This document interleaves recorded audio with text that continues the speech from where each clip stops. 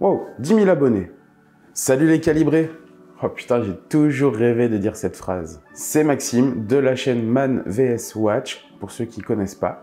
N'hésitez pas à aller faire un petit tour, on ne sait jamais, ça pourrait vous plaire. Quand Théo de la chaîne Le Calibre et donc de la chaîne MTC m'a demandé si je voulais faire une petite vidéo, on va dire symbolique, pour fêter les 10 000 abonnés, j'ai bien sûr répondu oui, parce que MTC, Monte ton calibre, c'est quand même une chaîne que je regarde depuis bah, quasiment la création. Hein. et je me suis toujours dit, il faut que je fasse une petite vidéo pour présenter aussi euh, à mon tour, comme toute la communauté en fait, une montre. Et ce jour est arrivé. Donc dans cette vidéo, je vais vous présenter une Nomos, la Nomos Club Sport 37 mm en version polar, donc version bleue. Donc installez-vous et je vous montre tout de suite ce qu'il en est de cette montre. Voilà, donc je vais vous parler de cette Nomos Club Sport dans sa version 37 mm néomatique et avec ce superbe bleu polar. Le cadran, il a ses joueurs, il est soleillé, moi j'adore hein, personnellement. Le bracelet, lui, est super confortable aussi. De toute façon, j'y reviendrai un petit peu après, hein, mais on a un bracelet en fait qui est euh, donc aussi pareil en, acier euh, inoxydable, hein, tout comme la montre, et avec une alternance de polymiroir au milieu, hein, sur les maillons du milieu, et de polybrossé sur les maillons extérieurs. Donc il y en a peut-être certains aussi qui vont se dire « Ah, mais on dirait une Rolex Oyster Perpetual ». Bah oui, finalement, moi, je trouve que cette Nomos, c'est un petit peu une alternative hein, à la Rolex OP. N'hésitez pas à dire en commentaire si vous êtes d'accord ou pas, mais en sachant en plus que là, on est clairement bien à la moitié du prix en fait d'une Rolex. Donc pour info, c'est une montre euh, qui fait donc 37 mm de diamètre. On a par contre un corne à corne qui est assez important puisqu'il est de 47,7 mm. Alors oui, ça peut freiner hein, une petite taille de, boîte pour un lug to lug, un corne à corne assez imposant. Hein. Mais il faut savoir que la version donc, de la Club Sport euh, existe aussi donc, en, en 42 mm. Et là, on est on est quand même à, 52,3 mm de corne à corne sur la version, donc c'est équipé d'une date, hein, version 42 mm, et là c'est vraiment très très, voire trop imposant. Donc celle-ci en fait conviendra à une majorité de poignets, et ça c'est plutôt cool. Euh, du coup, allez, je l'enlève. Donc on a ce qui est très sympa, c'est une, boucle déployante. Hein. aussi euh, polymiroir. Donc habituez-vous à faire des petites rayures euh, assez rapidement, hein, mais c'est normal, c'est la vie d'une montre. Donc voilà, cadran bleu soleillé, moi je trouve magnifique. Je sais pas ce que vous en pensez, mais euh, pour moi, euh, je me lasse pas de le, regarder en fait. Hein. Au niveau de la lecture de l'heure, bah, c'est super simple parce que Nomos a fait le choix donc sur cette euh, Nomos Club Sport de en fait mettre uniquement des chiffres arabes. C'est pas comme sur certaines clubs campus où on a un cadran californien avec une moitié chiffre arabe, une moitié euh, chiffre romain. Là, on a uniquement des chiffres arabes, ce qui rend la lecture facile. Euh, on a des chiffres en fait et des index qui sont aussi recouverts de superluminova. Donc là, la lecture, elle se fait aisément, hein, vu qu'on est, on est sur quelque chose d'assez blanc. À 6 heures, on a la petite seconde. Allez, je vais bouger les aiguilles. Comme ça. Hop. On va faire un petit 10h10 pour faire pro. Est-ce que je suis bien? Allez. Donc à 6 heures, on a la petite seconde. Ça, c'est une des caractéristiques aussi de, Nomos, hein, finalement, euh, d'avoir cette petite seconde à 6 heures. Personnellement, j'aime beaucoup. Il faut savoir aussi que sur celle-ci, on a donc un, le cadran, le sous-cadran des petites secondes, en fait, il est azuré. C'est-à-dire qu'on a la présence de micro-sillons.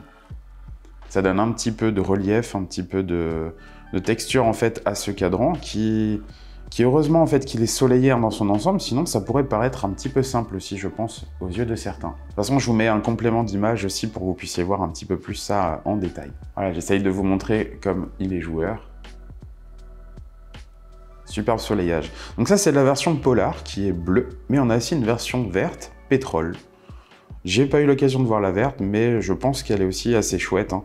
Moi qui ai un petit souci avec les montres vertes, bah quand c'est soleillé, bizarrement avec moi ça passe toujours mieux. Alors, je vous parlais un petit peu du Super Luminova. Je vais essayer de vous montrer ça un petit peu. Voilà.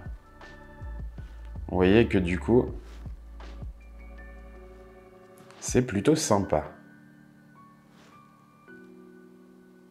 Et puis ce bracelet, on peut l'ôter assez rapidement puisqu'il est doté d'un système de pompe rapide. Donc ça, c'est plutôt pratique si on veut bah, changer de bracelet, hein. sachant que l'entrecorne est de 18 mm. Pas de souci particulier pour pouvoir euh, changer de bracelet à votre guise. Donc j'en profite pour vous montrer un petit peu plus le bracelet. Voilà. Avec la boucle déployante. Hein. Et puis la petite signature Nomos. Alors oui, il y a le côté miroir. Forcément, les micro-rayures et les rayures, eh ben, c'est pas ce qu'il y aura de, plus sympathique à voir sur la montre, mais, euh, mais c'est un peu inévitable. Alors je profite également pour euh, vous montrer la couronne qui est signée. Je vous, mettrai, je vous mets un gros plan, ce sera plus simple.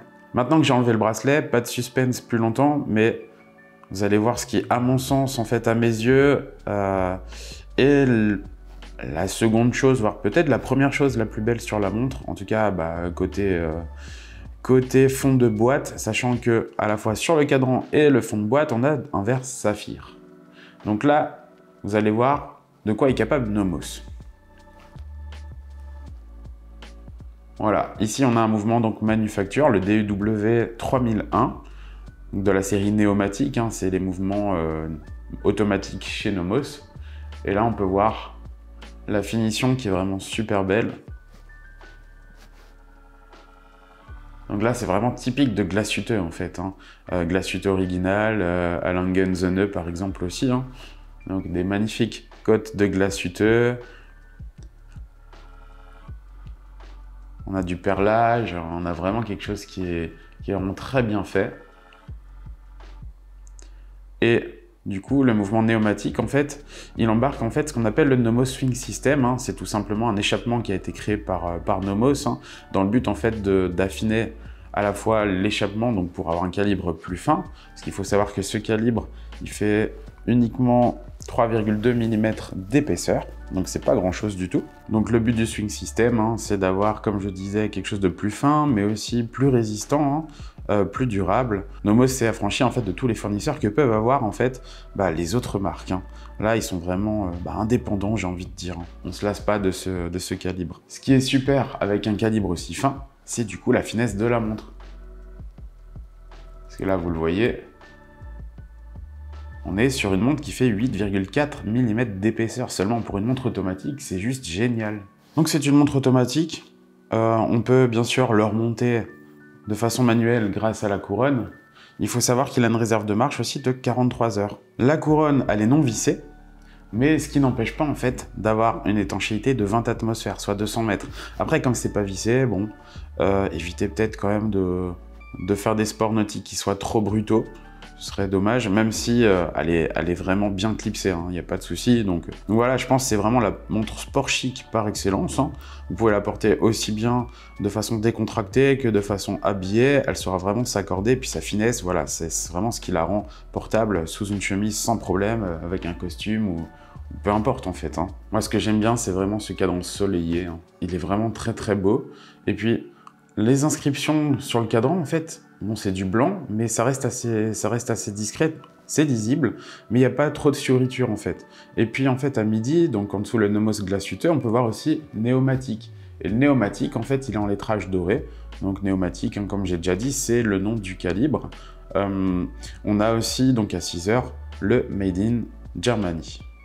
Parce que ça fait du bien aussi de voir des montres allemandes, hein, et pas que des montres suisses ou japonaises, ou même françaises. Après, concernant les index, on a un chemin de minuterie hein, qui est assez discret aussi sur le pourtour, et puis les minutes hein, qui sont donc de 5 en 5 en chiffres arabes. Voilà, je pense que vous avez pu avoir un aperçu donc, euh, de cette montre. C'est vraiment euh, la montre que je porte le plus là ces temps-ci.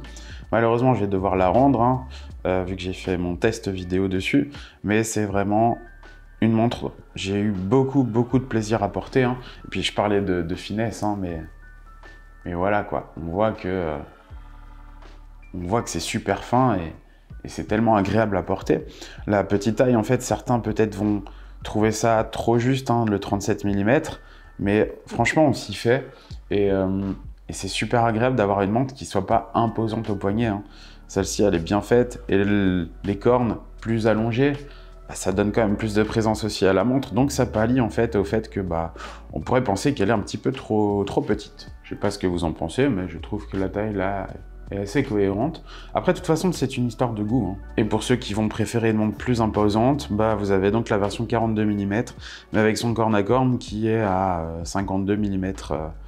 Euh, qui est quand même vraiment très très imposant. Il faut avoir le poignet qui va bien. Après, voilà, les Allemands ont, eux, des poignets peut-être un peu plus robustes que les nôtres.